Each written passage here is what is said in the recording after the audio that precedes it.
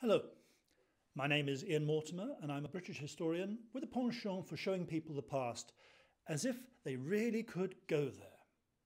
In this, the fourth and most recent of my time travellers' guides, I take you to Regency Britain, the years 1789 to 1830, the age of Jane Austen and Lord Byron, Lord Nelson, the Duke of Wellington, and of course the Prince Regent. I show you where to stay and uh, where not to stay, and I tell you what to eat and drink and what not to eat and drink, and which illnesses might kill you and uh, which doctors might kill you. And in this particular age, with all the quacks around, they may do just that. I tell you about uh, taking snuff and um, gambling at a gentleman's club and how to fight a duel. We cover the, the, the wit of Richard Brinsley Sheridan and the overindulgence of the Prince of Wales um, and, and things of that nature. It makes everything sound wonderful and splendid. You know, everything a, a book about the Regency really should be.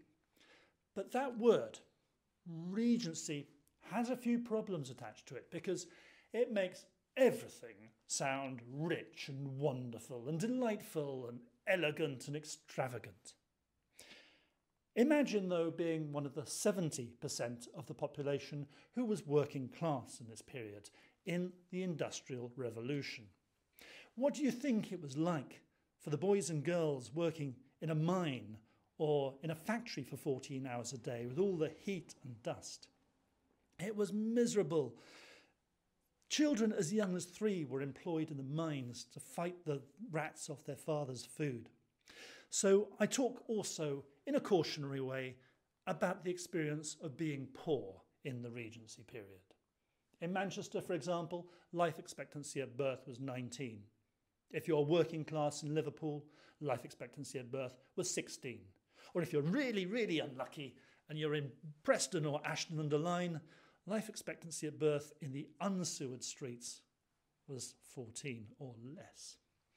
So this is a guide to visiting Britain and staying with uh, Prince Regent at the top of society and Carlton House, where the furniture is all covered in gold leaf, or at the very bottom of society, staying overnight in a cellar in Liverpool, where your mattress has to be raised up on bricks to get it out of the water.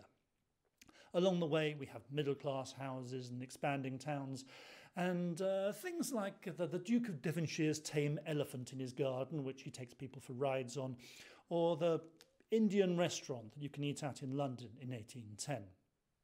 So let me entreat you, in the words of Johann Peter Salomon, the virtuoso violinist, who decided he would like Haydn to come to London in the 1790s.